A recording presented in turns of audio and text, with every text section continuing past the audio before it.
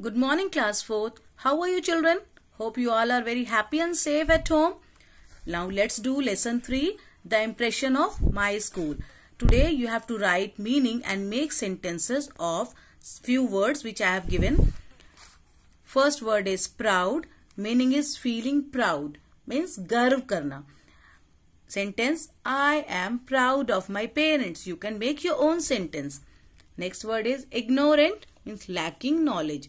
किसी चीज़ से अनजान रहना।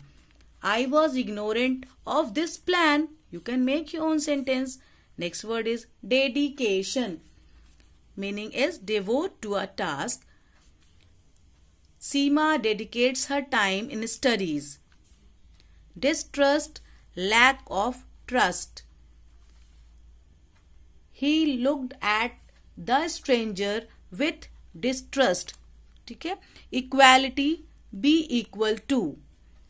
They are fighting for the equality of women. Then last word is roam, walk or travel without any aim. He roamed about in search of work. You have to make your own sentence.